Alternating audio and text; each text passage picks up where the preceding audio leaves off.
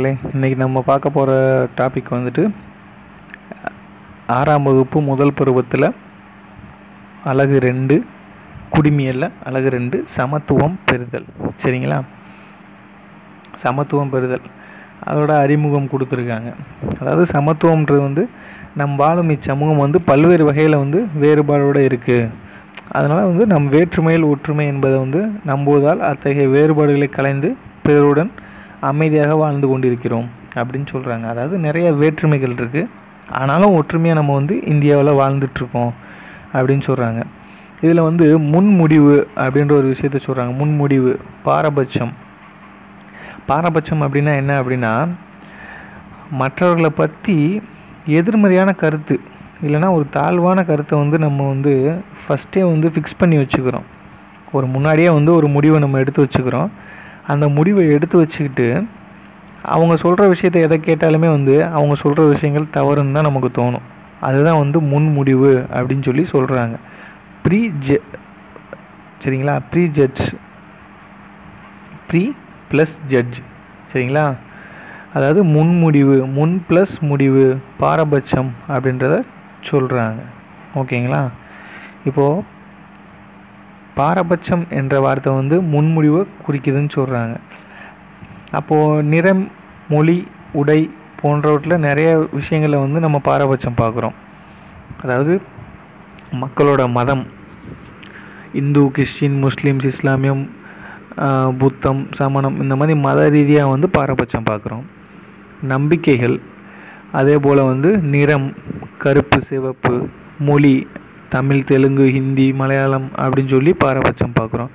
இது பாலின ரீதியாகவும் வந்து வர்க்க ரீதியாகவும் மாற்றுத்திறனாளிகள் மீதும் இந்த மாதிரி வந்து எல்லா விஷயத்துலையும் வந்து இந்த பாரபட்சம் வந்து பார்க்கப்படுது அப்படின்றத சொல்கிறாங்க எக்ஸாம்பிள் வந்து என்ன சொல்லியிருக்காங்கன்னா கிராமப்புற மக்களை வந்து நகர்ப்புற மக்கள் இப்போ நகர்ப்புற மக்கள் வந்து நிறையா ட்ரெஸ் வந்து ஜீன்ஸ் பேண்ட்டு டிஷர்ட்டு போட்டிருப்பாங்க. இப்போ கிராமப்புறத்தில் வந்து வேஷ்டி சட்டை போட்டிருப்பாங்க. அப்போ அதில் வந்து ஒரு பாகுபாடு இருக்குது அப்போ பாரபட்சம் பார்க்குறாங்க அவங்க பார்க்குறப்ப நாங்கள் பெரியவங்க அப்படின்ற மாதிரி சொல்லுவாங்க. அந்த பாரபட்சம் பார்க்குற விஷயத்த சொல்கிறாங்க சரிங்களா? அதாவது பாரபட்சம் அப்படின்றதுக்கு காரணங்கள் வந்து சொல்கிறாங்க என்னென்னா சமூகமயமாக்கல். சமூகமயமாக்குறது வந்து ஒரு காரணமாக சொல்கிறாங்க நிர்ணயிக்கப்பட்ட நடத்தை ஃபிக்ஸ் பண்ணிட்டாங்க ஒரு விஷயத்த அப்படின்றத பொருளாதார பயன்கள் பொருளாதார பயன்கள். அதிகமாக பொருளாதார பயன் இருக்குது கம்மியாக பொருளாதார பயன் இருக்குது. சர்வதிகார ஆளுமை ஒருத்தர் மட்டும் கண்ட்ரோல் பண்ணி ஒரு விஷயங்கள்லாம் செய்யணும்னு நினைக்கிறது. இன மைய கொள்கை ஒரு இனத்தை சார்ந்த ஒரு விஷயங்களை செய்யணும்னு நினைக்கிறது. கட்டுப்பாடான குழு அமைப்பு ஒரு கட்டுப்பாடோட ஒரு குழுவை அமைச்சு ஸ்ட்ரிக்டாக கொண்டு போகணுன்னு நினைக்கிறது அதுவும் ஒரு பாரபட்சம்தான். முரண்பாடுகள் கருத்துக்கள் முரண்பாடுகளாக இருக்குது. நீங்கள் சொல்கிற விஷயங்கள் நான் சொல்கிற விஷயங்கள் ஒத்து வரல அப்படின்றப்போ அந்த முரண்பாடு ஏற்படும். அதுவும் ஒரு பாரபட்சத்துக்கான காரணமாக சொல்கிறாங்க ஒத்த கருத்து அதாவது முன்முடிவு வலுவாக இருக்கும்போது அதான் நான் முன்னாடியே சொன்னேன்ல ஒரு நான் ஒரு விஷயம் சொல்கிறேன் அதை நீங்கள் வந்து ஏற்க முடியல அப்படின்னா நீங்கள் ஒரு விஷயத்த ஆல்ரெடி வந்து ஃபிக்ஸ் பண்ணி வச்சுட்டீங்க உங்கள் மைண்டில் நான் இதை தான் செய்வேன் அப்படின்னு. அப்போ நான் என்ன சொன்னாலும் கேட்க மாட்டீங்க. என்ன அட்வைஸ் பண்ணாலும் கேட்க மாட்டீங்க. நான் புக் எடுத்து படிங்கன்னு சொன்னாலும் நீங்கள் படிக்க மாட்டீங்க. உங்களுக்காக தோணுச்சுன்னா தான் நீங்கள் படிப்பீங்க. அதுதான் ஒத்த கருத்து. சரிங்களா? அந்த மாதிரி ஒரு விஷயத்தை ஃபிக்ஸ் பண்ணி வச்சுட்டீங்க அப்படின்னா நீங்கள் அதை வந்து மாற்றிக்க மாட்டீங்க. ஒத்த கருத்துக்கு ஒரு எக்ஸாம்பிள் சொல்லியிருக்காங்க. எடுத்துக்காட்டு வந்து ஒரு பையன் வந்துட்டு அவன் கண்ணில் வந்து பால் பட்டுருது. ஒரு மெல்லிய பந்து தான் அவன் மேலே படுது. அதனால் வந்து அவன் அழுகிறான். அப்போ அங்கே சுற்றி இருக்க பசங்க எல்லாமே வந்து அவனை பார்த்து அழுகிறாங்க சிரிக்கிறாங்க. அப்போது ஒரே ஒரு பையன் மட்டும் அவனை பார்த்து வேதனைப்படுறான். சரி ஓகே இவன் மேலே பந்து பட்டுருச்சு அப்படின்னு வந்து வருத்தப்படுறான். ஆனால் அந்த மற்ற பசங்க சிரிக்கிறத பார்த்து இவனும் சிரிக்கிறான். அப்போ அங்கே அந்த ஒத்த கருத்து வந்து நம்ம சுற்றி இருக்கவங்கள அந்த விஷயம் நல்ல விஷயமா இருந்தாலும் அதை செய்ய விடாமல் தடுத்து அவங்களையும் அந்த ஒத்த கருத்துக்குள்ளே கொண்டு போயிடும் அதுதான் சொல்லியிருக்காங்க. நிறைய எக்ஸாம்பிள்ஸ் கொடுத்துருக்காங்க ஒத்த கருத்துக்கு. இப்போ பாலின அடிப்படையில் வந்து ஒத்த கருத்துக்களை வந்து நிறைய திரைப்படங்கள் விளம்பரங்கள்லாம் வந்து தொலைக்காட்சியெல்லாம் போடுறாங்க. ஒரு பைக் விளம்பரம் வந்துச்சு அப்படின்னா அதில் வந்து ஆண்கள் மட்டும்தான் வருவாங்க. ஒரு வாஷிங் மிஷின் விளம்பரம் வந்துச்சு. சரிங்களா? இல்லை ஒரு சோப்பு விளம்பரங்கள் வந்துருச்சு. பாத்திரம் கழுவுறது தொடர்பான ஒரு ஜெலுசல் அந்த சாரி ஒரு ஜெல்ஸு இந்த மாதிரி விஷயங்கள் விளம்பரம் வந்துச்சு அப்படின்னா அதை வந்து பெண்களை தான் காமிப்பாங்க. ஒரு பைக்கு காரு அப்படின்னா ஆண்களை காமிக்கிறாங்க. அப்போ அதுலேயே வந்து ஆண்கள் இதுதான் பண்ணணும் பெண்கள் இதுதான் பண்ணணும்னு ஒரு பாரபட்சங்களை வந்து காமிக்கிறாங்க அப்படின்றத வந்து இவங்க சொல்லியிருக்காங்க மென்ஷன் பண்ணியிருக்காங்க. சரிங்களா? அடுத்து வந்து சமத்துவமின்மை மற்றும் பாகுபாடு சமத்துவமின்மை மற்றும் பாகுபாடு அப்படின்னா ஒருவர் மற்றொருவரோட வந்து பாகுபாடுடன் நடத்துகிறது தான் வந்து சமத்துவமின்மை அப்படின்னு சொல்கிறாங்க சாதி ஏற்றத்தாழ்வுகள் மத சமத்துவமின்மை இன வேறுபாடு பாலின வேறுபாடு இதெல்லாம் வந்து ஒரு எதிர்மறை எதிர்மறையான செயல்கள் பண்ணோன்னா அது சமத்துவமின்மை பாகுபாடுன்னு சொல்கிறாங்க ஓகேங்களா? இதில் வந்து சமத்துவமின்மை பாகுபாடு இதில் ஒரு முக்கியமான விஷயம் அப்படின்னா நெல்சன் மண்டேலா அவர்கள். இனவெறிக்கு வந்து முடிவு கொண்டு வந்தவர். தென்னாப்பிரிக்காவை சேர்ந்தவர். இவர் இருபத்தி ஏழு ஆண்டுகள் வந்து சிறையிலேயே வந்து கழிச்சார். சரிங்களா? ஆயிரத்தி தொள்ளாயிரத்தி தொண்ணூறாம் ஆண்டு தான் விடுதலையானார். விடுதலையானதுக்கப்புறம் வந்து அந்த தென்னாப்பிரிக்காவோட இனவெறிக்கு வந்து ஒரு முடிவு வந்துச்சு. ஏன்னா இவரை ஜெயிலில் வச்சுருக்கப்போ நிறைய வெளியில் போராட்டங்கள்லாம் நடந்துச்சு. அதனால் ஒரு பெரிய பிரச்சனைகள் ஆகும் அப்படின்றதுக்காக இவரை வந்து ரிலீஸ் பண்ண சொல்லிட்டாங்க. அதுக்கப்புறம் வந்து ஒரு தேர்தல் நடக்குது. அதில் இவரே வந்து போட்டியிட்டு தலைவராகவும் ஆகிறார். சரிங்களா? அப்போ அந்த இனவெறிக்கு எதிராக வந்து போராடினவர் வந்து நெல்சன் மண்டேலா வந்து ஒரு முக்கிய பங்கு வந்து வகிக்கிறாரு. சரிங்களா? இப்போது அந்த நம்ம கருப்பு நிற தோற்றமுடைய வெள்ளை நிற அந்த மாதிரி தாழ்ந்த வகுப்பினர் காட்டிலும் உயர்ந்த வகுப்பினர் அப்படின்ற வேற்றுமைகள் நிறைய இருக்குது சரிங்களா? இதை வந்து என்ன சொல்கிறாங்கன்னா இந்திய அரசியலமைப்பு சட்டப்பிரிவு பதினஞ்சு வந்து அறிவுறுத்துகிறது. என்ன அறி அறிவுறுத்துகிறது அப்படின்னா சட்டப்பிரிவு பதினஞ்சு என்ன சொல்லுது அப்படின்னா ஜாதி மதம் இனம் பாலினம் பிறப்பிடம் என்ற அடிப்படையில் பாகுபாடு கூடாது. ஜாதி மதம் பிறப்பிடம் மொழி இந்த மாதிரி பிறப்பிடம் பாலினம் இது போன்ற வந்து எந்த ஒரு விஷயத்துலையும் வந்து பாகுபாடு காட்டக்கூடாது அப்படின்னு வந்து சட்டப்பிரிவு பதினஞ்சு சொல்லுது. சரிங்களா?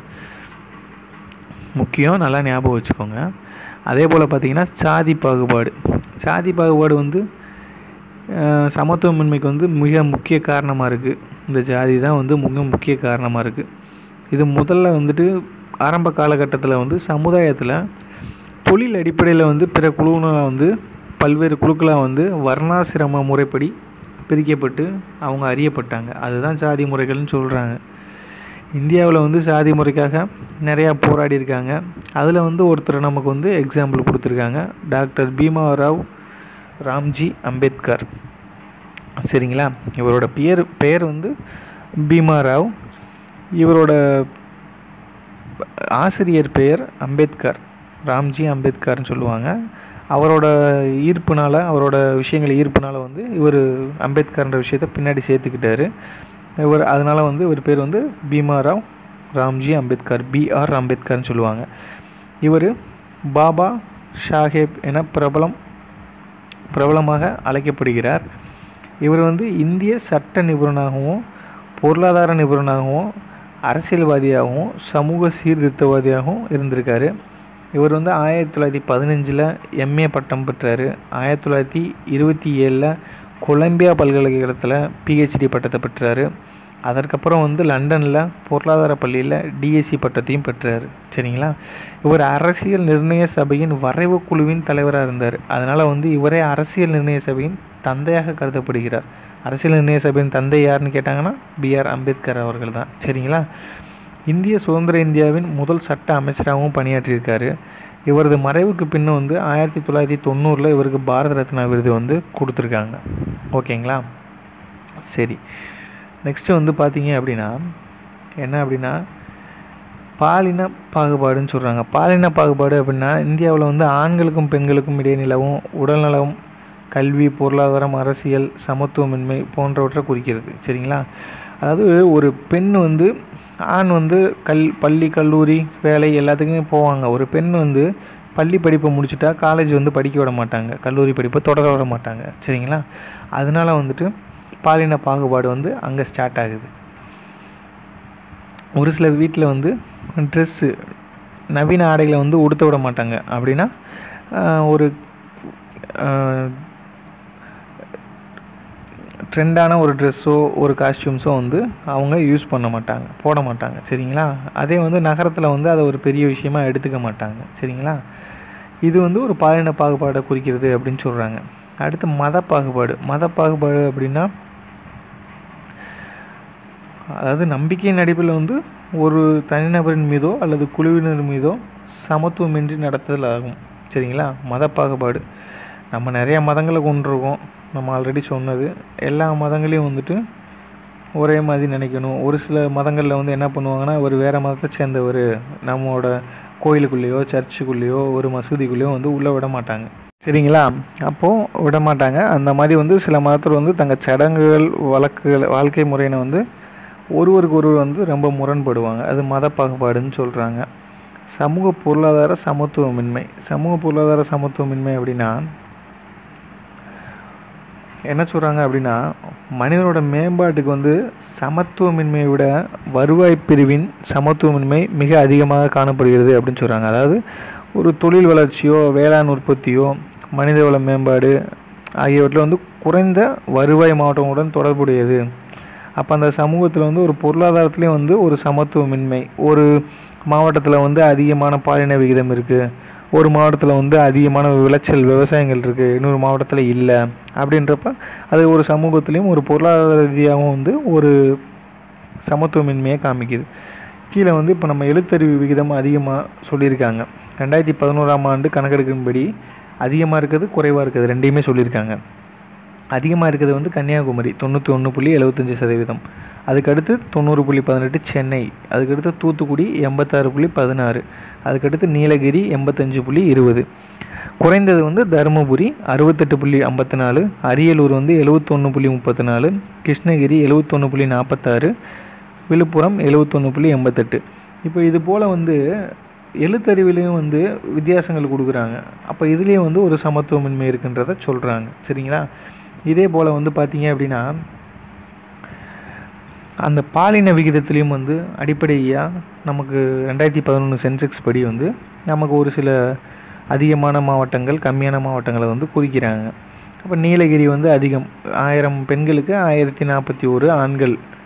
சாரி ஆயிரம் பெண்களுக்கு ஆயிரம் ஆண்களுக்கு ஆயிரத்தி நாற்பத்தி ஒரு பெண்கள் இருக்காங்க அப்போ அதிகப்படியாக இருக்காங்க மிக அதிகமாக இருக்காங்க பாலின விகிதத்தில் அப்படின்றாங்க. தஞ்சாவூர் வந்து ஆயிரத்தி முப்பத்தொன்று நாகப்பட்டினம் ஆயிரத்தி இருபத்தஞ்சு தூத்துக்குடி ஆயிரத்தி இருபத்தி நாலு இப்போ கம்மியானது வந்து ஆயிரம் ஆண்களுக்கு தொள்ளாயிரத்தி நாற்பத்தி ஆறு பெண்கள் தான் இருக்காங்க அப்படின்னு பாலின விகிதத்தில் சொல்கிறாங்க தருமபுரி வந்து மிக குறைவாக சொல்கிறாங்க அதுக்கடுத்து சேலம் தொள்ளாயிரத்தி ஐம்பத்தி நாலு கிருஷ்ணகிரி தொள்ளாயிரத்தி ஐம்பத்தி ஆறு ராமநாதபுரம் தொள்ளாயிரத்தி எழுபத்தி ஏழு. இது போன்ற பாலின விகிதத்துலேயும் வந்து நமக்கு பாகுபாடு இருக்குது சமத்துவமின்மை இருக்குதுன்னு சொல்கிறாங்க சமத்துவமின்மை மற்றும் பாகுபாட்டினை நீக்குவதற்கான தீர்வுகள் என்னென்னு சொல்லியிருக்காங்க. ஒரு சில பாயிண்ட்ஸ் சொல்லியிருக்காங்க. அனைவரும் தரமான உடல்நலம் மற்றும் கல்வியினை கிடைக்க செய்தல். எல்லாத்துக்கும் நல்ல உடல்நலம் நல்ல கல்வி கிடைக்கணும். தற்போதைய பாலின பாரபட்சத்தை பற்றி தெரிந்து கொள்ளணும். இப்போ இருக்க சுச்சுவேஷன் என்னன்றதை தெரிஞ்சுக்கணும். பாலின ஏற்றத்தாழ்வுகளை அகற்றுவதற்காக பொது வாழ்வில் மற்றும் நிறுவனத்தில் பெண்களை திறனை வெளிப்படுத்தணும்.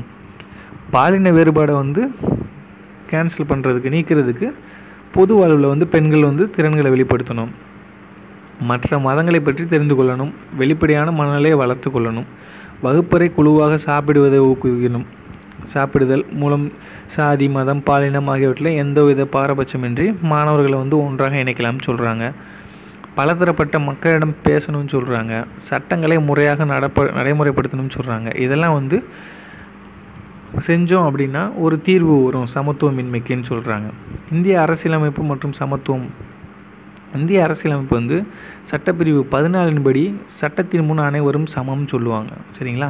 இந்திய அரசியலமைப்பு சட்டம் பதினாலாவது பிரிவு சட்டத்தின் முன் அனைவரும் சமம். இது ஒரு முக்கியமானது. நோட் பண்ணிக்கோங்க. அதே போல் நாட்டிற்குள்ளே வசிக்கும் அனைவருக்கும் பாதுகாப்பு தேவை தேவையற்ற பாதுகாப்பாட்டினையும் தடை செய்கிறது. பாதுகாப்பும் தேவையற்ற பாதுகாப்பின் பாகுபாட்டினையும் தடை செய்துன்னு சொல்கிறாங்க அதே போல் நமது அரசியலமைப்பு நிலைத்தால் வேறுபட்டிருப்பதை கூறுகிறது. எனவே சமத்துவமானது அனைவராலும் ஏற்றுக்கொள்ளப்படுகிறதுன்றத சொல்கிறாங்க சரிங்களா? அதே போல் வந்து இந்திய அரசியலமைப்பு விதி வந்து ஒழுங்குமுறை சட்ட நடவடிக்கை அதாவது ஒரு நாடு நிர்வகிக்கப்படும் சமத்துவம் என்பது தீண்டாமை ஒரு குற்றம் காண்பது என்று சொல்கிறாங்க அதாவது இந்திய அரசியலமைப்பு பிரிவின்படி விதி பதினேழு இந்தியா தீண்டாமை ஒழிப்பு அப்படின்றதுக்கு விதி பதினேழு வந்து தீண்டாமை ஒழிப்பு. இதுவும் முக்கியம். தீண்டாமை ஒழிப்பு அப்படின்னா எந்த சட்டப்பிரிவு அப்படின்னு கேட்டாங்கன்னா பிரிவு பதினேழு. சரிங்களா? இது எல்லாம் வந்து சமூக அதாவது இந்த இதில் வந்துட்டு இன்று கூட நாடு முழுவதும் பல்வேறு வகையான பாகுபாடு காணப்படுகிறதுன்னு சொல்கிறாங்க பெண்கள் விவசாயிகள் பழங்குடியினர் மற்றும் தாழ்த்தப்பட்ட சமூக வகுப்பினர் உள்ளிட்டோர் இன்னும் இந்தியாவில் சமத்துவத்திற்கு இன்னும் போராடிட்டு இருக்காங்க. இன்னும் ஒரு சில இடங்களில் வந்து சமத்துவமின்மை இருக்குது பாகுபாடு இருக்குது அப்படின்றத இந்த பாடத்தின் மூலயமா வந்து சொல்லியிருக்காங்க. இதில் இன்னொரு முக்கியமான விஷயம் என்னென்னா ஒரு நாலு சாதனையாளர்களை பற்றி கொடுத்துருக்காங்க. ஃபஸ்ட்டு வந்து பார்த்திங்கன்னா ஏபிஜே அப்துல் கலாம். ஆயிரத்தி தொள்ளாயிரத்தி முப்பத்தி ஒன்றில் பிறந்திருப்பார். ரெண்டாயிரத்தி பதினஞ்சில் வந்து மறைஞ்சிருப்பார். சரிங்களா? இவரோட முழு பேர் வந்து A Avul P Pakir J Jainulabdeen Abdul Kalam. சரிங்களா? அவுல் பஹீர் ஜெயினுலாபுதீன் அப்துல் கலாம். இவர் வந்து ராமேஸ்வரத்தில் பிறந்திருப்பார். ஒரு இஸ்லாம் குடும்பத்தை சேர்ந்தவர். இவர் வந்து இந்தியாவோட பதினோராவது குடியரசுத் தலைவர் லெவன்த் பிரசிடெண்ட் சரிங்களா? இந்திய குடியரசுத் தலைவர். ஜனாதிபதி. ஜனாதிபதினாலும் பிரசிடென்ட்னாலும் குடியரசுத் தலைவர்னாலும் ஒரே பொருள் தான். சரிங்களா? இவரை வந்து மக்கள் குடியரசுத் தலைவர் என்று அன்புடன் நினைவு கூறப்படுகிறதுன்னு சொல்கிறாங்க அதே போல் இவர் ராமநாதபுரத்தில் பள்ளிப்படிப்பு முடித்தார் திருச்சி ஜெயின் ஜோசப் கல்லூரியில் பட்டப்படிப்பினை முடித்தார். சென்னை தொழில்நுட்பக் கல்லூரியில் விண்வெளி பொறியியல் படிப்பிற்கு பிறகு இவர் பாதுகாப்பு ஆராய்ச்சி மேம்பாட்டு நிறுவனத்தில் சேர்ந்தார். சரிங்களா? இவர் வந்து இளமை காலத்திலே வந்து அப்துல் கலாமின் குடும்பம் வந்து ரொம்ப வறுமையில் இருந்துச்சு. எனவே தனது குடும்பத்துக்கு உதவியாக வந்து செய்தித்தாள்கள்லாம் வந்து விற்பனை பண்ணியிருக்காருன்றத சொல்கிறாங்க இவர் இந்தியாவின் மிக உயர்ந்த விருதான பாரத ரத்னா விருது வந்து ஆயிரத்தி தொள்ளாயிரத்தி தொண்ணூற்றி ஏழு வாங்கியிருக்காரு கொடுத்துருக்காங்க. இவருக்கு பல்வேறு விருதுகள் வழங்கப்பட்டிருக்கு. சரிங்களா?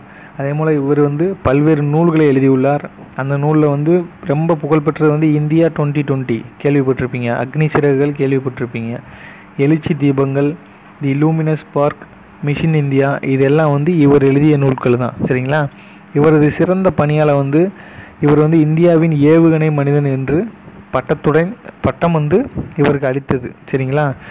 சிறந்த சிறந்த அவரது சிறந்த பணியால் இந்திய ஏவுகணை மனிதர் என்ற பட்டத்தை இவருக்கு அளித்தது. சரிங்களா? அடுத்து வந்து பார்த்தீங்க யாருன்னா விஸ்வநாதன் ஆனந்த். விஸ்வநாதன் ஆனந்த் வந்து சென்னையில் ஒரு நடுத்தர குடும்பத்தில் பிறந்தவர். இவர் தாயார் வந்து சதுரங்க விளையாட்டில் ஆர்வம் கொண்டவர். அதாவது செஸ் காம்படிஷன் செஸ் போட்டியில்.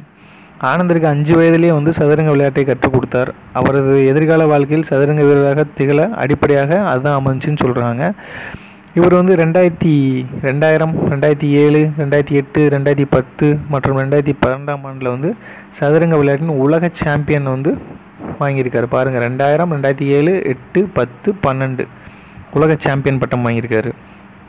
தனது பதினாலாவது வயதில் உலக இளையவர் சதுரங்க போட்டியில் சாம்ப சாம்பியன் பட்டம் வென்றார். ஆயிரத்தி தொள்ளாயிரத்தி தொண்ணூற்றி எட்டாம் ஆண்டு இந்தியாவில் முதல் கிராண்ட் மாஸ்டர் இவர் தான் சரிங்களா? நாட்டின் விளையாட்டு வீரர்களுக்கு வழங்கப்படும் உயரிய விருதான ராஜீவ்காந்தி கேல்ரத்தா விருதினை வந்து ஆயிரத்தி தொள்ளாயிரத்தி தொண்ணூற்றி ஒன்று தொண்ணூற்றி ரெண்டில் வந்து பெற்ற முதல் வீரர் இவர் தான். இந்தியாவிலே நாட்டிலே உயர்ந்த விளையாட்டு வீரருக்கான விருது ராஜீவ்காந்தி கேல்ரத்தா விருது. சரிங்களா?